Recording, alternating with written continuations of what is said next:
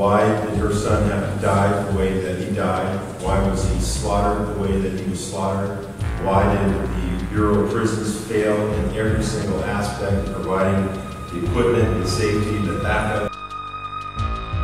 Our officers are unarmed in prisons. The public needs to know it. The Bureau's aware of it. It is a great risk that we put on our staff. We have lost all faith in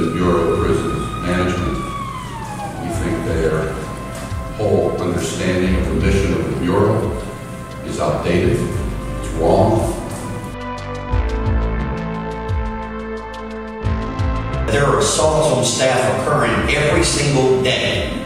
Every single day it's getting reported to me of officers assaulted in one uh, form or another. And it's becoming common practice that not only are they getting assaulted, they're getting assaulted with weapons too frequently now. Shame on the BOP for failing. Shame on them for creating a fair traffic. Officer Rivera, Officer Rivera had no idea what he was walking into on that fateful day. These are your neighbors that live in these communities that work in these prisons.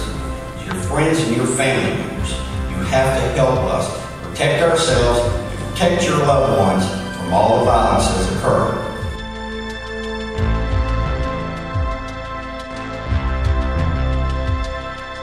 And we are asking, first of all, that he order the issuance of vests, that he change the Bureau policy when it comes to non-lethal weaponry, and that he find himself a new director of the Bureau of Prisons. Okay, with that,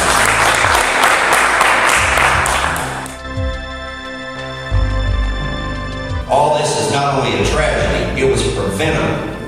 If Officer Rivera would have been given the necessary equipment as well as all our today, whose lives are at great risk on how we're being managed, and the refusal of the agency to make changes to give us just an ability to protect our lives, I believe he'd be alive today.